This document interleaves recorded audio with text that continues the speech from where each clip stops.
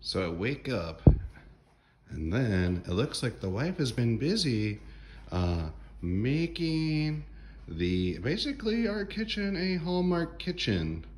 And apparently all you can, you can get all this stuff from Target, Target. We got Christmas, garland up the top. We got hot chocolate, hot chocolate station. Get all this stuff at Target. Can also get some of this off of Amazon.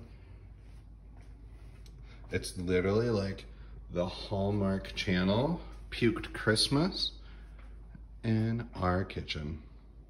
Yep, it's crazy, crazy.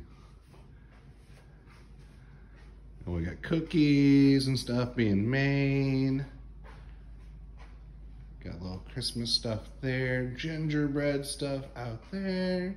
It's crazy. It's like decked out Christmas in the kitchen.